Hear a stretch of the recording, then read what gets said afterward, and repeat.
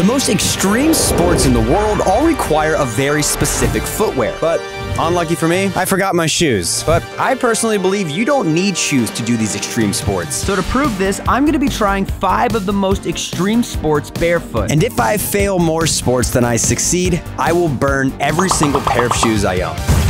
So the first sport I will be trying is track. Track athletes are known for using shoes to protect their feet from the hot track and keep their feet stable while running. But sadly for me, I won't have shoes. Now every sport that I will be attempting barefoot in this video will be done and supervised by a trained professional. So YouTube, I'm safe. Oh, this is burning hot. So in order to complete track, I will have to successfully complete three skills. 100 meter dash, hurdles, and the long jump. But if for some reason the skill is too painful on my feet and I fail any of the three skills, I will fail the whole sport. First thing we're gonna try is a 100 meter dash. Good luck.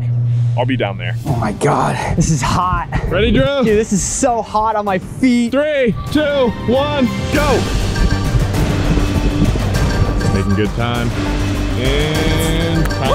Now I may have successfully completed the first skill, but it was honestly way more painful than I expected. How did that feel? Ow! That hurts so bad. And even though I still have two more skills remaining for track and four more extreme sports that I have to complete later in the day, my feet were already starting to get destroyed. Look at my feet right now. Oh my god. Dude, they hurt so bad. But if I was gonna save all of my shoes from exploding, I had to push on to the next skill. Up next, we got hurdles. I have four of them here. My feet are already killing me, and this tarp has to be like 100 degrees. Let's do this.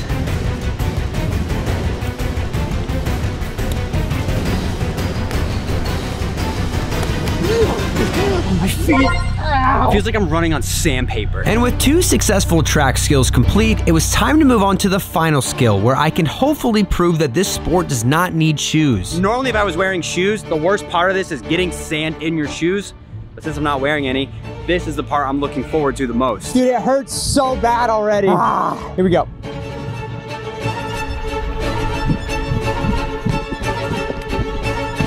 Feels so nice with my feet in the sand. It's like cold sand under here. Oh, all right, well, that's where I landed. Let's see how you do with shoes. I think I got the same exact spot as you. Dude, you did. You know what sucks? What? All the sand in your shoes. Yeah. Yo. No way. And even though I successfully completed the first sport, I ran into a very big problem that would make all of these next sports much harder to do. Dude, look at this. I don't know if you can see this. I have a blister forming on that toe right there. But I wasn't going to quit and destroy all my shoes that easily. And since the next sport might literally destroy my feet, I decided to pick up some tape and band-aids to help fix my Bro, feet. You've done one event. And after buying everything that I needed, I taped up my toe that literally felt like it was going to fall off, and it was time to move on to the next extreme sport. How about I don't shred my feet. Ow, the ground's hot. Skateboarders are known for literally destroying their shoes from the grip tape on their skateboard. So this is going to be extremely hard on my feet because for me to successfully pass this sport, I will have to complete three things. Riding around, dropping in, and the most dangerous thing for my feet, a jump. All right, the first thing I'm gonna try to do is just ride around and get used to just riding without any shoes on. Oh my God. Now I've skateboarded for years, but never in my life skateboarded barefoot. So I never actually knew what grip tape felt like on my feet. And if I'm being honest with you, it felt like I was riding around on sandpaper. Yo. Dude, that feels crazy on my feet. All right, now that I've ridden around, it's time for the next thing, and that's dropping in. This is terrifying. You think it's a good idea to drop in without shoes? Yeah. Would you ever do it? Hell no. Don't grind your toes on the concrete. Oh my God. Holy cow, I'm like freaking out. Ow! Right, that wasn't as bad as I thought, actually. And with two out of the three skateboard skills complete, it was time to move on to the hardest skill. I'm gonna try to do an ollie, which I'm not looking forward to because this really involves your feet. Essentially, I have to pop the board, drag my foot up the grip tape to get the board to go into the air, and then land. This is so stupid. Ow! that hurts so bad. Yeah. Ow! My phone. Oh, it's good. I literally thought my phone just cracked. And with one last attempt, I had to give it my all. Because if I fail this, I will fail the whole sport. And with my feet hurting more than ever, I needed this point. Dude, that hurts so bad on my feet. My foot. I'm gonna have to call that, dude. That hurts way too bad trying to ollie up that. It literally feels like sandpaper. Now, although I failed skateboarding and my feet hurt pretty bad, at least I left skateboarding with a positive experience. Good to meet you, Alex. Anytime you guys ever see me in public, come and say hi. Even if it's me embarrassing myself trying to skateboard with no shoes on. I love getting to meet you guys. Now, if I fail two more sports, I will literally have to destroy every single pair of shoes I own. And not only that, but the sports from now on will get more and more physically demanding on my feet. And with my feet being in a lot of pain, I needed to try a lot harder on this next sport, which is soccer. This should be pretty interesting. Soccer players wear cleats for stability, traction, and most importantly, protecting their feet. Bro, I'm so grateful to have shade right now. You have no idea. Now, the three things I need to complete soccer is juggling, scoring, and of course, a 1v1 game. I'm gonna try juggling first.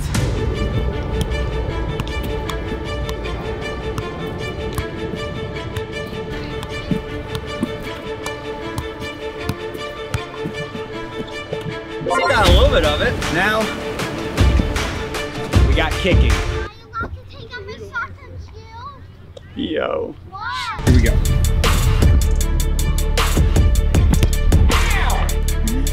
Dude, that is so painful. That sounds painful. Dude, my foot's like already getting red. Look at that. You gonna try being the goalie? Anything for you, love. I might need you to ice my feet after this. Yeah, maybe not that. All right, you ready? Never been more ready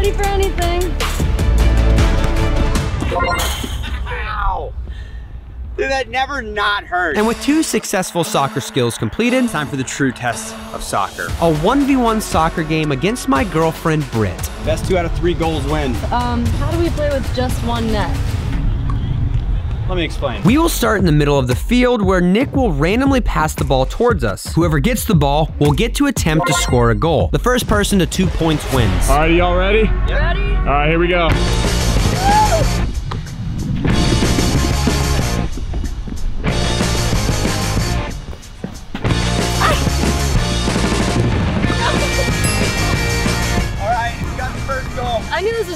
Easy. I didn't know it was gonna be this easy. All right, round two, you ready?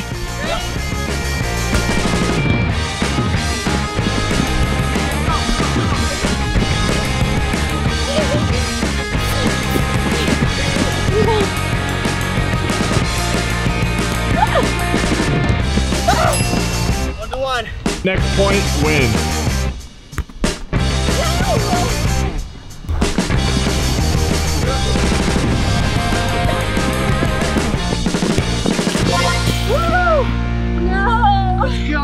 And just like that, soccer was a success. Bro, my feet are killing me. Yeah, well, since you won, uh, Wait, where's that?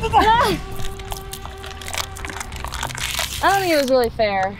Soaked my phone. Oh, I'm sorry. I didn't realize you had your phone.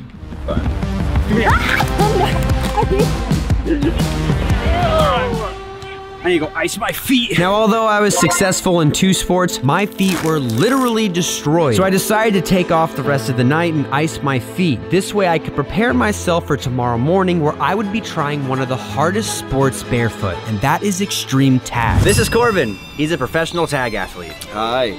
Would you ever do this barefoot? No, I don't think so. Professional tag athletes wear a very specific shoe to help them maneuver around objects quickly and keep their feet and ankles safe. But since I won't have any shoes, I'm at very high risk of rolling my ankle or damaging my feet. It looks like you've messed up your feet already. Yeah. Now, lucky for me, I will have two chances to complete this sport. First, Corbin will try to tag me, and second, I will try to tag Corbin. And if I successfully complete either of these, I will pass the sport of tag. So, you have 30 seconds to use all of this, and uh, I'm gonna tag you. Best of luck to my feet. All right, ready, guys? In three, two, one, go.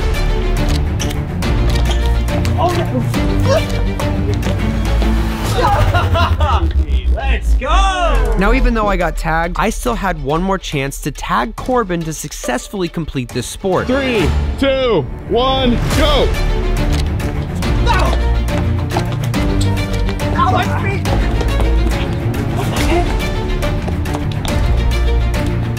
Oh, What? You're crazy! Ow!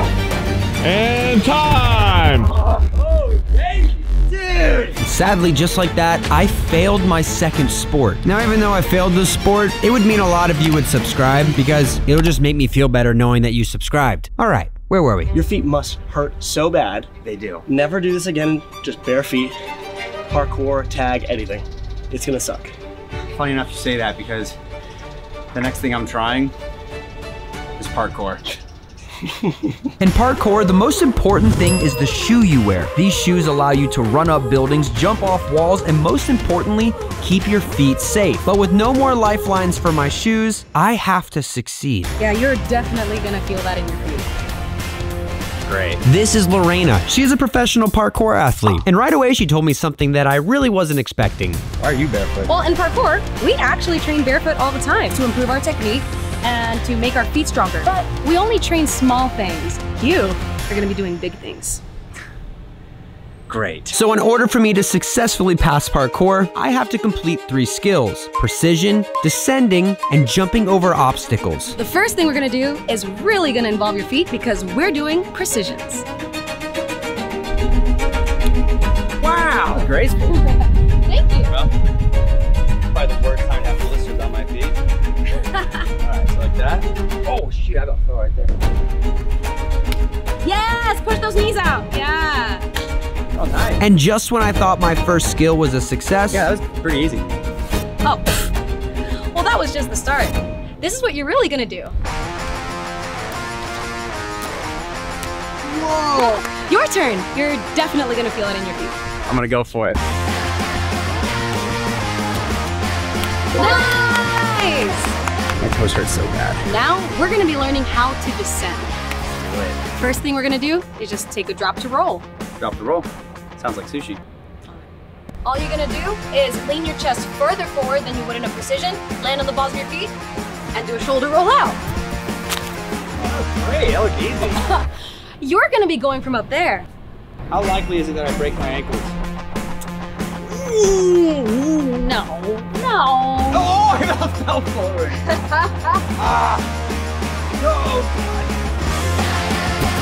Ah, that was really good. You didn't break your ankles. Oh my god, that was awesome. and just when I thought my second skill was a success, Now we're gonna take it to cement. What? So you're gonna start here, safety this rail, come down here, drop onto the concrete, safety, turn, drop down, and run away. Bro, she's crazy. Why do you laugh like that? I'm having so much fun. Now, this looked crazy painful, but I was just two skills away from keeping my shoes safe, so I had to give it everything I had. Oh, dude, I'm gonna need foot surgery.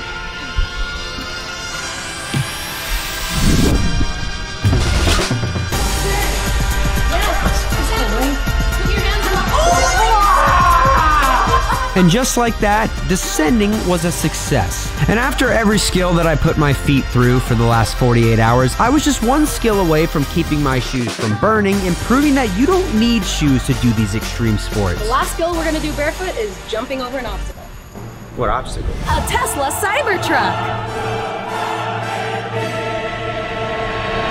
And the best part is, if you mess it up, you only have to pay many, many thousands of dollars, and you'll probably get cut from its sharp edges.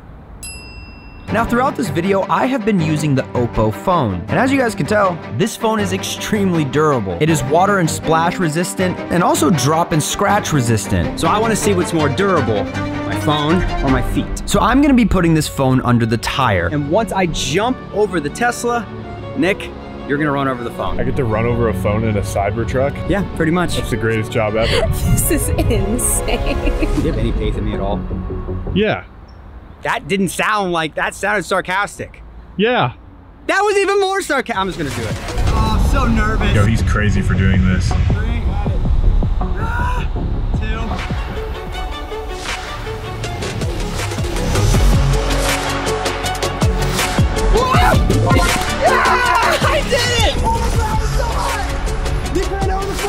Moment of truth. Did it survive? Did it survive? Yo, it's fine. no. Look at that. Look at that. It oh survived. Make sure you check out Oppo's newest phone, the Reno 12 Pro. The link will be in the top of my description. Well, this was definitely the hardest extreme sports challenge I've ever done, but I'm honestly surprised that I completed it. Yeah. If you guys enjoyed this video, watch another right here. Rice my feet. Ow.